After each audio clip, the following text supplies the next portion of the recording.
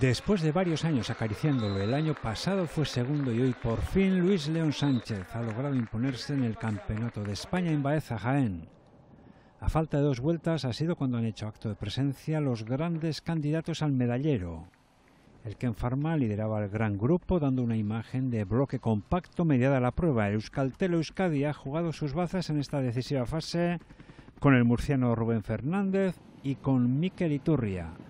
El guipuzcoano ha atacado por partida doble. El Cofidis ha jugado a la base de Jesús Herrada, sacrificando a Barceló en el control de grupo.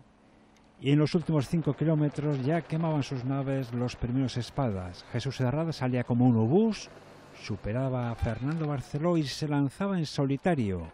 Pero tras una gran labor de Gorka Izaguirre, Luis León Sánchez neutralizaba y superaba dentro del último kilómetro a Jesús Herrada. Luis León enfilaba la recta de llegada victorioso en tanto que a Herrada se le saltaba la cadena y se quedaba fuera del podio.